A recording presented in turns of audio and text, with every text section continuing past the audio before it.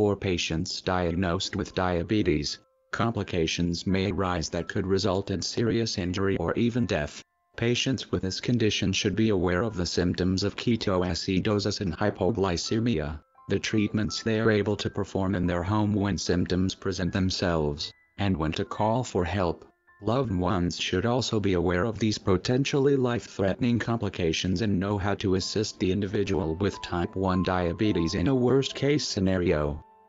Hypoglycemia is a condition that occurs when blood glucose levels are too low. Symptoms according to Google Health include rapid heart rate, trembling, cold sweats, general feeling of illness, dizziness and more. The list of symptoms that could indicate low blood sugar levels is extensive and patients will not experience all symptoms at once. If untreated, this is another of the serious diabetes complications that could lead to coma, permanent damage to the nervous system and death. Patients can compensate by drinking juice or eating a snack to increase blood glucose levels, but should seek medical attention if the symptoms persist or worsen. Ketoacidosis one of the more serious of diabetes complications, is caused when the body doesn't have enough insulin to break down the sugars in the body. To compensate, fat is used instead. As the fat is broken down, ketones are released into the bloodstream.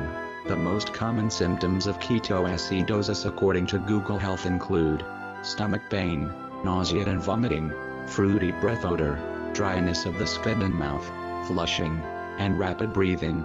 Other symptoms may also be present. If the condition is caught early enough, patients with type 1 diabetes may be able to correct the imbalance by drinking plenty of water and taking more insulin. If symptoms are serious enough, hospitalization may be required to prevent coma or death. To avoid potentially dangerous type 1 diabetes complications, patients diagnosed with the disease should follow their diabetes diet plans monitor their blood sugar regularly, and ensure that medications are being taken as prescribed by their doctor. In the event that diabetes complications do occur, patients and their loved ones should be aware of treatments that can be performed in the home and be prepared to call for help if the situation worsens. Learn more at diabetes-complications.net.